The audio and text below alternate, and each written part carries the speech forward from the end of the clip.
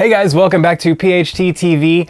Uh, after the Forte 4 was released, we had a request, well, we had many, many requests to dive back and bring the Heresy, bring back the Heresy versus the Forte. So now that we have fourth generation on both, honestly, this is gonna be a tough comparison. With the upgrades, upgrades in both of these guys, it has gotten a little bit closer. well, you know, I, I, said it before when we did the uh, some of the other listenings uh, the Forte 4 listening originally. Mm-hmm. That is a huge step in the right direction to putting that speaker in the proper place in line in that stair step of the heritage mm-hmm. line. And the Heresy's always been there because I mean it's been there for it was originally designed as the center for the K horn. Well, so it's, it's the baby of the bunch, so it's going to be the small, slowest one on the totem pole. I mean, it's just kind of the you know, but having the the step between the Heresy up to the Cornwall was a pretty big step. And by having that forte in the middle, it really smooths that out a little bit.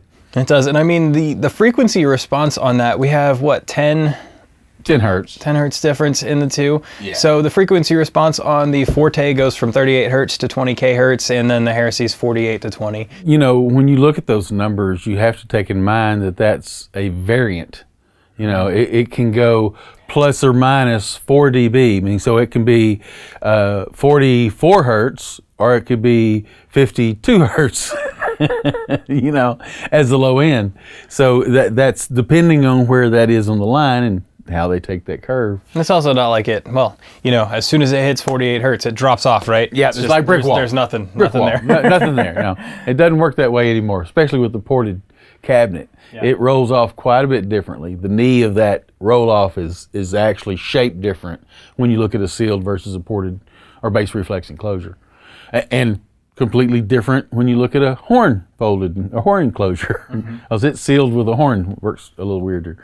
uh, but and we'll have to talk about that when we move up in the line to the La Scala. Yeah, so I mean, we've actually uh, we've done Heresy versus Forte already. We've done Forte versus Cornwall. You guys have seen all those, but we have not done Cornwall versus La Scala. So we're taking a little bit of a break in the st- in the standard tier because we had so many requests to do this new gen versus new gen. So you ready to get started? Yeah, I had a whole lot of people complaining. I just bought the Forte 3. You didn't make a mistake. No. you did good. Forte it's, 3 is still awesome. Forte 3 is a great speaker, and, and, and I would not consider uh, that as a mistake at all. I mean, it, it, they, they did, they, it held its own very well to the Forte 4, but it, Forte 4 helped put it in it a better standing in that in that yeah. stair step. It's it's the Forte 3 is great on its own, but the Forte 4 it kind of changes the signature to put it more in line with the Heritage series versus yeah. all around with, general with series. the current Heritage line versus where the Forte was in the past. So I I uh, I commend Klipsch on on actually turning around and redoing a speaker that they just did a couple of years ago. You know, in the history of Klipsch, usually 18 months is the time frame it takes to get a speaker from point A to in your hands. Mm-hmm. So uh, uh, for them to turn around and do the Forte 4 just after doing the Forte 3, not much more than 18 months before, says something about them being dedicated to getting that in that line stair stepped like they wanted it. So I mean that's that's that's great that they're spending the effort to make that that line stand as proud as it always has after 75 years. And it fits in a great spot right in between those. Yeah. Like you said before, it's a, it's a nice position. So uh, you want to start with Matt today? Sure, yeah. Which one? Oh yeah, that's right. Let's start with Matt uh, Matt Sommers today. Matt Sommers, okay. Um, we haven't listened to this one yet. The song is called Nine by Matt Sommers. Let's take a listen.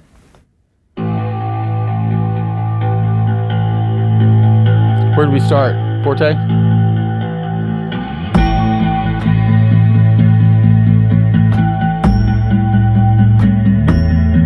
Heresy. Okay. Forte.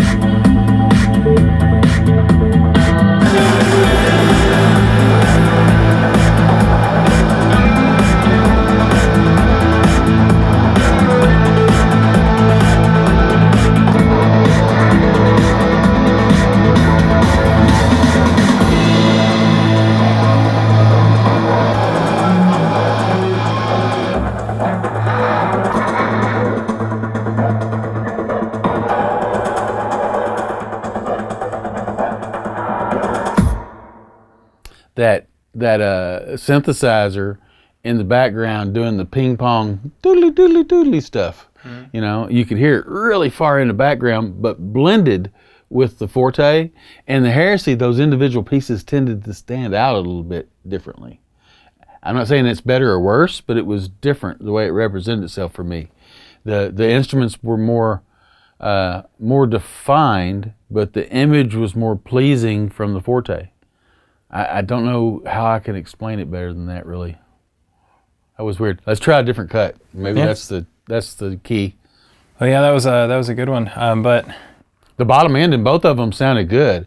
I was impressed that the heresy was keeping up. Heresy's keeping up in this fourth gen, man. It's this one's the value of all by Draekon. It's a little bit heavier, and let's get get some intense A movement little going bit on. heavier. We're past grunge at this point. Yeah, we're past grunge. More on the metal side. So, The Value of All by Draekon.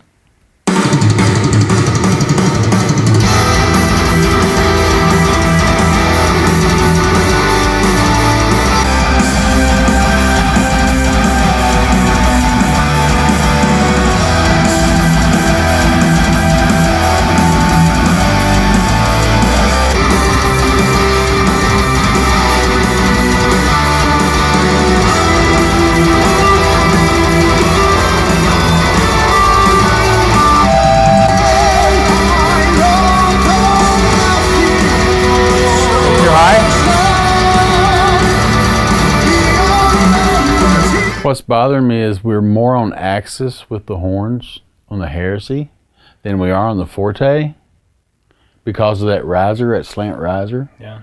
and I'm actually getting a better better representation of the vocals out of the heresy than I am the forte, and I think it's because of the angle of this horn. Because on the fortes, I'm a, my ears above angle of that horn by ten degrees at least, fifteen degrees. Well, it's a it's not an extremely high vertical horn anyway, so I'm kind of in the thirty percent off axis or more range of that horn setting up like this. Whereas, because we're we're setting taller than we normally would in a chariot house. My couch isn't. I don't set this high. You know, Drop down some? I, I could drop down some. Where's where's the? you know, that puts my ear closer to the to the same level. I wonder if that'll make a difference. Play that cut some more with it down lower. See if it makes a difference.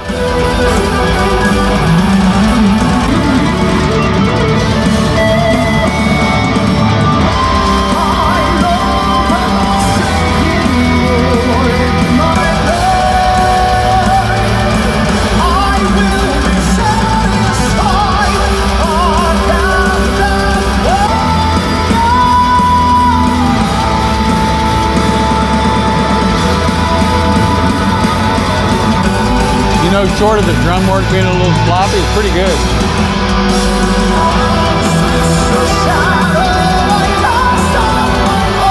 So, man, When I dropped in the seat, dropped down a little lower, so I was better on axis. I was in some kind of a weird null at full up between on the two of them. Well, no, at the height of the at the height of the tweeter. Mm-hmm. You know, as you move off the- off axis of the horn, it creates a cloverleaf pattern uh, in the response instead of being a circle. It starts to cloverleaf. The mumps on the horn help solve some of that cloverleaf, but it doesn't solve it all. And I just happened to be in just the right spot that it was really in the good spot for the heresy, but a bad spot for the forte. So by dropping it down, you know, what was it? Yourself right in the middle. Yes, six or eight inches. I dropped myself, my ear got out of that null, and all of a sudden the vocals were almost as proud in both places. So, you know, that's one of the things when it comes to coverage and placement, placement in your room and your room acoustics and all that that you you want to pay attention to when you're setting your room up, because just that little bit of arbitrary, you know, movement made a complete because I was leaning strong toward the heresy.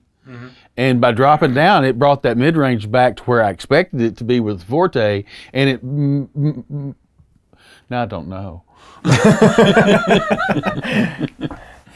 All right, so we did we did Matt Sommers, we did we did Draekon. Um, you want to go punk or do you want to go to something a little lighter? Let's do punk and then go lighter. All right, so This one is called Everything by Distill. You guys have heard this in some of our previous episodes. Um, kind of garage band punk style. Let's see what we got.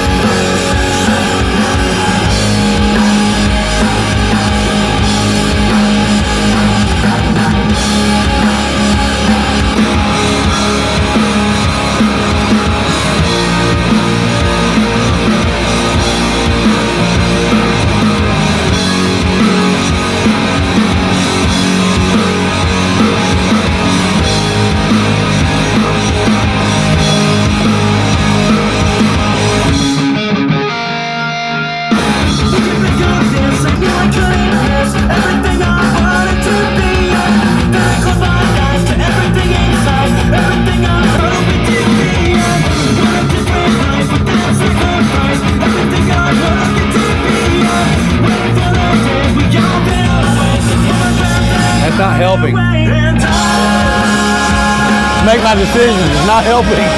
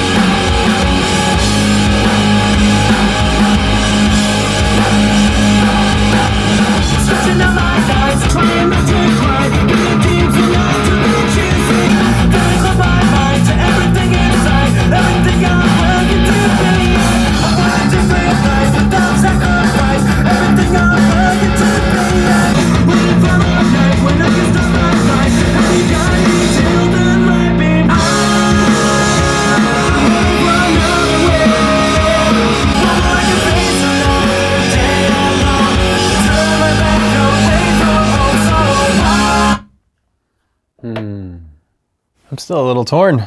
That's what I said. I leaned over and tapped you and said, "Ah, this isn't making it easy." I mean, I, I don't. I'm still don't know. I, we're Let's at track more three, music. and we haven't gotten a we haven't gotten a final say yet. A consensus. What are you thinking? You want to do Jason Helms or Trey Johnson next? Uh, let's do uh, let's do Trey. Trey. So yeah, it's kind of opposite end of the spectrum from what we've been uh, what we've been hearing so far. Singer songwriter, In a single guy. live live recording as opposed Yeah. to a mix. So It's just a little lighter in the volume, so we may have to crank it a little harder to get get the volume on because it's a live mix. let's do it. Worries and troubles all weigh me down. Burden so heavy, help can't be found. Broken down heart, I'm lost and alone. Somebody bring my baby back home.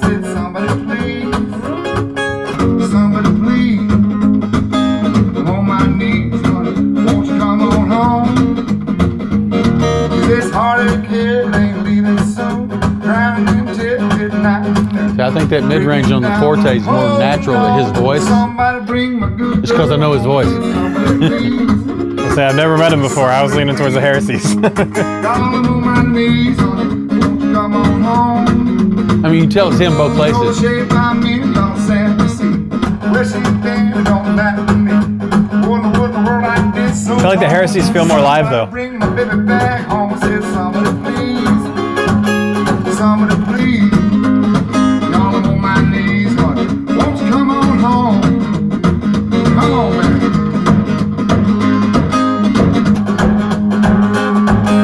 Disagree. I think that sounds more live because you're getting the ambience of the room and that stomp.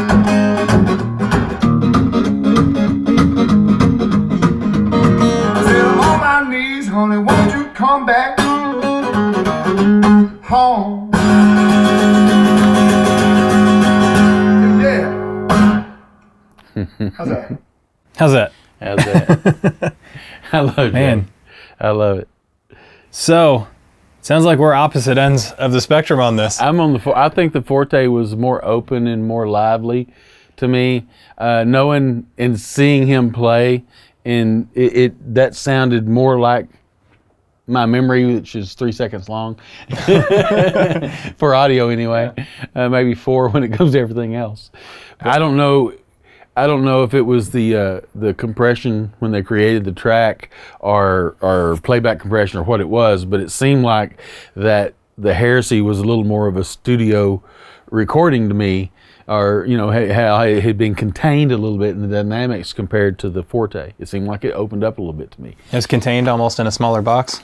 Uh, Yeah, but we know that. But but uh, and yes, the motorboard's going to make a difference on how that resonance resonates, uh, and the resonance of the cabinet, obviously. But but uh, So that's not going to help them make their decision at all because we've got three tracks that we well, were that's not my fault. I'm just three- giving my two cents. They have to make their own decision. We have three tracks that were torn on, and the the most least recent one we disagree on.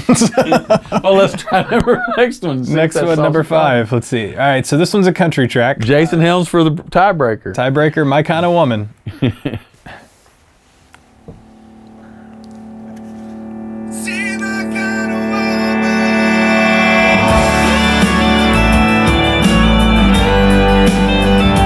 low frequency cutting in. You both have it. She loves four-wheel and back road rides on a Friday night. Saturday morning cartoons with the kids. She's all country curves in a white t-shirt and a faded pair of jeans, and I can't believe that she's with me. She's my kind of woman.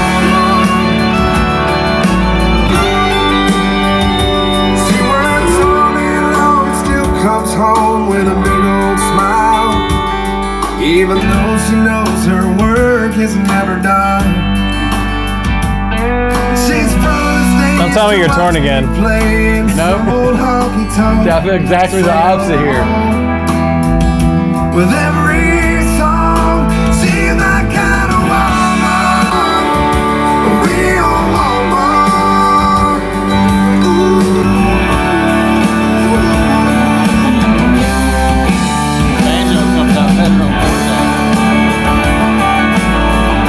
Violin on the heresy, though.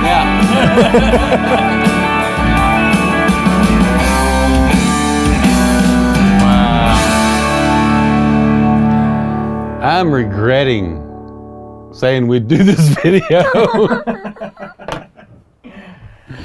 I figured this was going to be a difficult one when they upgraded. Man, I didn't know it was going to be that hard. I think we're out of tracks and still don't have a decision.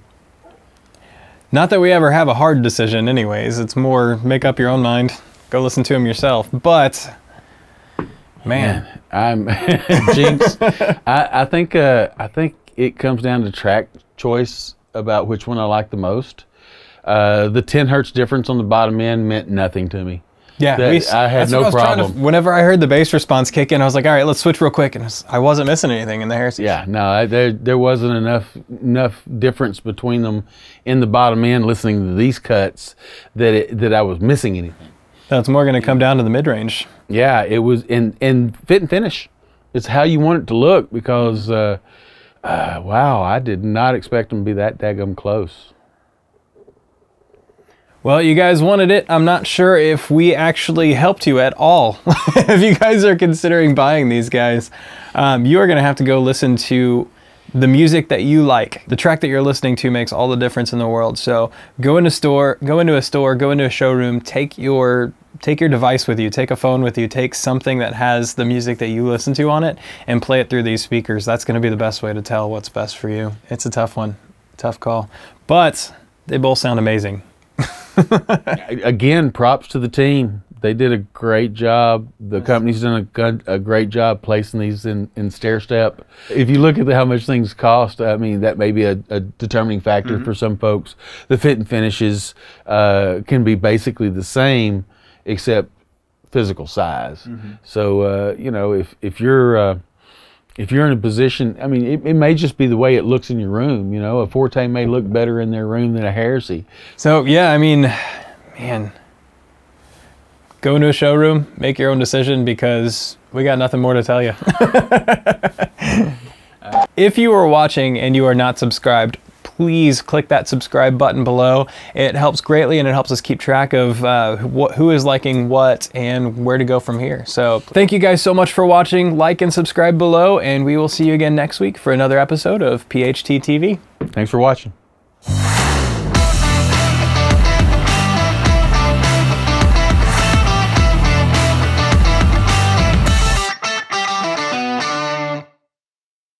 Five o'clock. On. Whoa, that was lower than I remembered. Oh, we dropped those down a little bit, didn't we? I'm Glad we got that on camera because that's gonna be cute. Your face. you made a oh, great Oh, I was face. gone. I thought that was over. Life flashed before my eyes.